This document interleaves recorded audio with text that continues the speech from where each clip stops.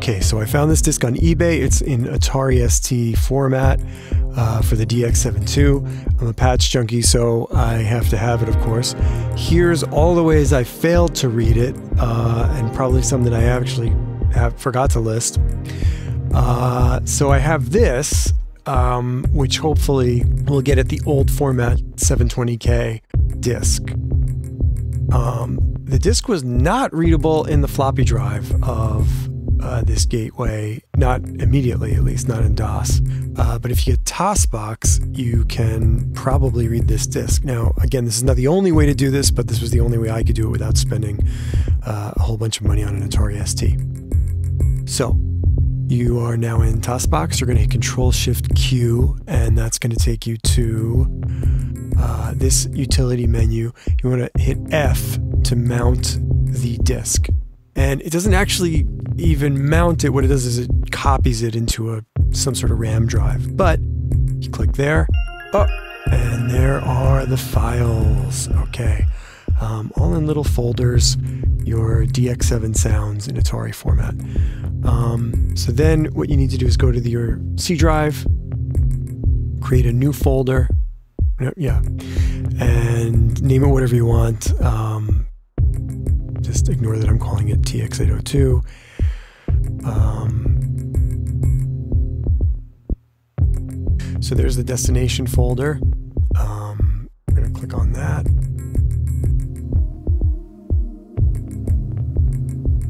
Um, okay, and then in here, we're going to copy over, just doing the, oh, yeah, okay, that still works. So drag and drop, there's a little confirmation menu, hit OK, and there they go. Now, can we get these out of this computer, uh, given that it has no Ethernet port and only the floppy drive? Um, So we're to quit out of TOSBox, go back into just regular old DOS. I have formatted a new floppy, uh, a 1.44 in the drive, which I know my Mac can read the USB drive. So we're literally just going to copy these files onto the floppy drive. I think this is in real time. Um, and then now we're going to bring. Oh, let's just check that it's Yep, okay, everybody's there. And there you go. You don't need that PRG file, that's the downloader that is proprietary to SoundSource. So here's my floppy. I'm gonna go put that in the Mac. Okay, and let's see if we get anything. Ah, okay.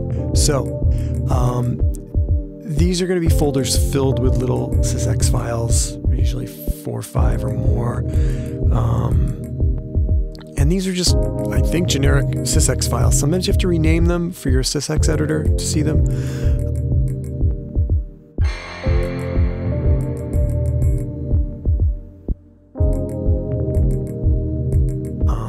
Now you can send them to your DX7, just like regular SysEx files. Um, I would highlight all of them and then send them. This particular librarian will send them one by one, and the DX um, seems to be able to take that.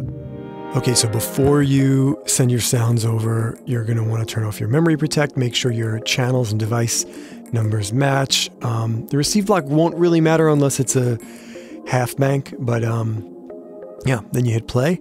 This is in real time. It's going to send each message over, and you can just wait. It's very exciting.